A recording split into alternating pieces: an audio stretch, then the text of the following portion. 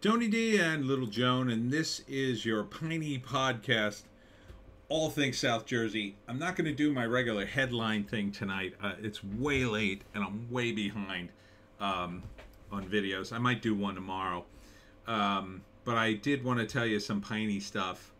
Uh, first, of course, I went to Lines of the Pines today. Uh, saw a lot of great Piney stuff. There's so many books, and uh, there was a guy. He was making jewelry out of the glass from Crowleytown. Uh, used to have a glassworks, and that's in the Pine Barrens. It's uh, near Crowley's Landing, where the remains of, and uh, uh it's down the river from uh, Jersey Devil Marina. And the reason I mention that is because this movie is called Ghost of the Pines. I was at a different event. Which event was I at? A few days ago. I think I think yeah, at the Stratford library, I met a guy who turned me on to this video. This is from 1974. It's a short documentary called Ghost of the Pines.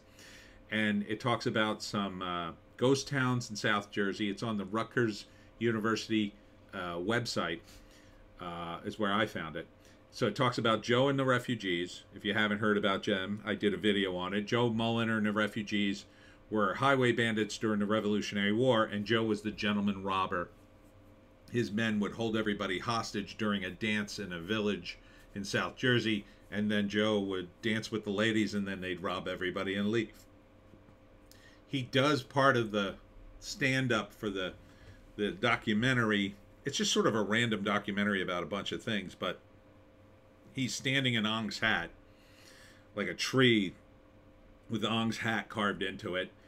Um, he they also talk about uh, Hermann City there's a little bit on that. And uh, before it burned down, it burns down about 10 years later in the 80s, the last big building there. Uh, I think it was the Hermann City Inn or something like that. And, um, but the big revelation for me was the story about Crowleytown and that John Mason, the inventor of the mason jar, um, invented it in South Jersey, basically. And there was a glassworks um, in Crowleytown, and then another one nearby. I think in like place like Harrisville or something like that. And both glassworks burned down, and they never rebuilt them. Uh, and I don't think they rebuilt the towns either, because the towns were basically around the glassworks. And um, the interesting thing about John Mason, you know, he revolutionized food storage at that time, because this was the 1800s when he invented it. And what he invented and patented was a screw top lid. Now he patented the screw top lid, but he failed to patent the rubber stopper that you put on one of those lids to make it airtight. And because he didn't do that, um, he kind of lost his invention because other people did either patent it or just use the rubber stop and it, they didn't have to, they could do whatever they want, right? That wasn't part of the patent. What's up, Joan? Let me. Okay. Um, and they said in at least one of the entries I read that John Mason died penniless because of that. But they're not quite sure. They seemed a little vague on that. But I just found that amazingly fascinating. I had no idea mason jars were invented in South Jersey. Um, but this little documentary uh, goes through some of these facts, and it reminds me a lot of the documentary Mother Leeds 13th Child, if you've ever seen that, which is a reenactment of the birth of the Jersey Devil. I mean, it's shot in that era, so it very much has that look, and they're walking around in the pines. So, oh, I'm going to put you down, Joe. Sorry.